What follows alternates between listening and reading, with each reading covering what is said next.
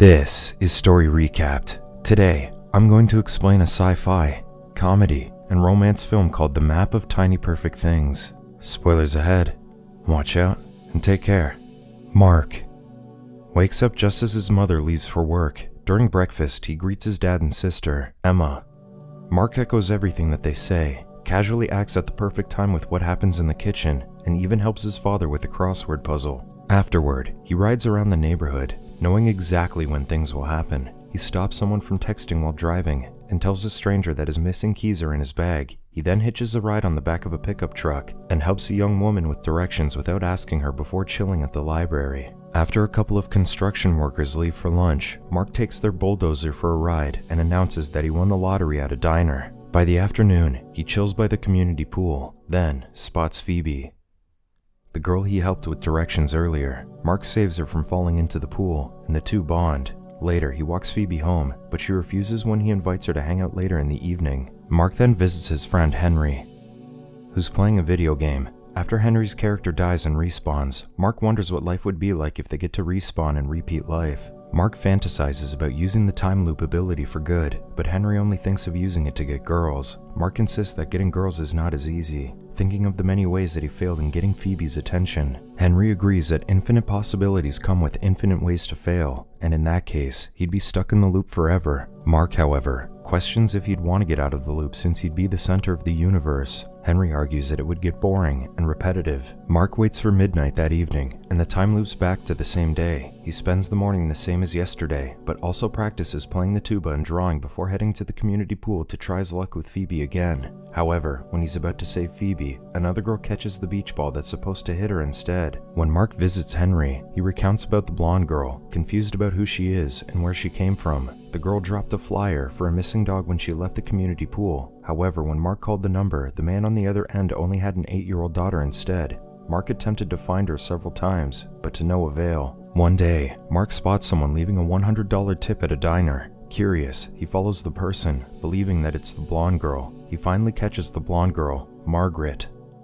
While she's leaving the diner and confirms that she's also stuck in the time loop, Mark is relieved to learn that someone else was also experiencing the time loop. He asks what she's been doing during the time loop, and she admits that she's been trying to teach herself how to drive. Mark claims that he's trying to save the world in any way, and Margaret advises that he shouldn't set his goals too high. Margaret tries to leave, but Mark gets her attention by showing her how a dog accidentally steals another man's phone. He shows her other humorous coincidences, which amuses her. However, Margaret's phone rings, and she announces that she has to leave. Mark asks for her number, saying that they should keep in touch since they're the only ones aware of the anomaly. Over the next few loops, Mark finds more things to look forward to. He continuously changes his hairstyle and sends Margaret the pictures, but she doesn't respond. Finally, Mark asks her to meet up. The next day, Mark and Margaret swap stories about their personal life and experiences with the time loop. He asks what's the craziest thing that she's done during the time loops, and in response, Margaret shows him how she drives. During the drive, Margaret shares that she wants to be an aerospace engineer at NASA. Margaret then plays the CD in the car, then comments how awful her friend's taste in music is, revealing that she stole the car. Margaret then parks the car near the woods and takes Mark to the lake. There, they watch a bird swoop down and catch a fish. Margaret recounts that she saw it at first while looking for the missing dog, though she admits that it's pointless to search for the dog again. Her phone then rings, so Margaret takes Mark home.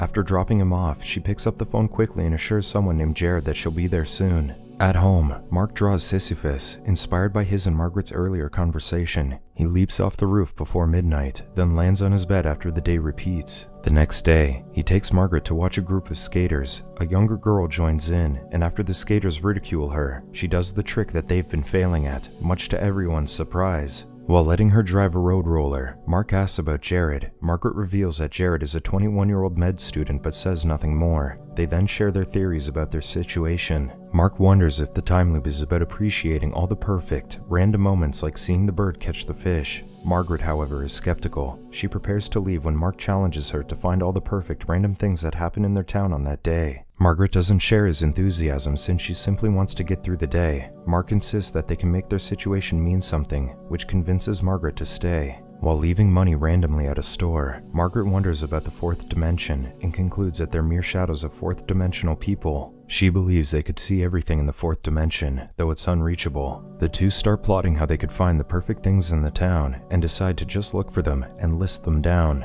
Over the next few loops, Mark and Margaret go around town and find small moments, such as traffic getting stopped by a turtle crossing the road, an elderly couple playing chess, and a pair of wings from a van positioning itself perfectly behind a man. Margaret also finds a three leaf clover and a construction worker playing the piano beautifully. One day, Margaret corners Mark into studying algebra, insisting that she can't hang out with someone who doesn't understand logarithmic functions. After studying, they watch a perfect cloud formation. Margaret ignores her ringing phone for a while and admits that she sometimes wishes the time loop never ends. Margaret then leaves, but Mark insists that she can skip meeting Jared for just one day. Margaret, however, doesn't listen and leaves. At home, Mark's dad joins him in the living room to talk about his future. Mark jokes that he wants to be a priest or join the Space Force. Mark shows his dad a dragon tattoo on his stomach just before time repeats. The next day, Mark searches for Jared on the internet. Later, he shares his feelings for Margaret with Henry, but adds that he's disappointed that she always leaves him after 6 p.m. Henry advises Mark to take her somewhere to convince her that they genuinely have a connection. One day, Mark takes Margaret to a school gym where he set up a mock space station and moon. The two then spend the day pretending to be astronauts. Mark attempts to confess his feelings to Margaret, but hesitates. Instead, he invites her to ride his bike around the school, pretending to head back to Earth. They go to Mark's house and wonder about how they always wake up at the same time every morning, as if something puts them to bed. While looking at their family photos, Mark shares that his mother works late at night, so he barely sees her. While his dad recently quit his job to write a book about the Civil War, he then asks about Margaret's parents, but she dodges the question. After watching a movie, Mark leaves to go to the bathroom. During this, Margaret finds the map he's made of the perfect things. Mark is embarrassed and reveals that he redraws the map every morning, but Margaret is amused by it, encouraging him to go to art school. Mark admits that he's been trying to see a pattern, hoping to unveil something. Mark then leans in to kiss her, but Margaret refuses and gets ready to leave. Mark argues that she could tell him what's happening with her and Jared, but Margaret adamantly refuses. She explains that she doesn't want to mess anything up, since they're already stuck in time. She concludes that they should just be friends, and Mark has no choice but to accept it. Heartbroken, Mark waits for midnight at the rooftop. He immediately wakes up the next day, and for the first time, he asks his dad about his mother. His dad simply answers that she's fine. Mark then opens up about Margaret to Henry, who's confused about his friend's situation. Frustrated, Mark rants how he hoped, after repeating every day, he'd finally get it right. The next day, Mark tries to avoid his dad at home, but fails. His father corners him about the future again, but Mark argues that he has no future, since he's stuck in time. He then shoots back at his father for denying his dreams about art school, while he was able to quit his job to write a book. After Mark begs her to stop playing the violin, Emma asks him about his talk with their father, and he admits that he yelled at him for quitting his job. However, Emma reveals that their father was fired because the company didn't need him anymore. Their father didn't want to admit it because he's ashamed, while their mother is angry about it but can't express herself since it wasn't his fault. Their father isn't against Mark going to art school, but they just can't afford it. Before leaving, Mark asks about the soccer game, and Emma shares that her team lost.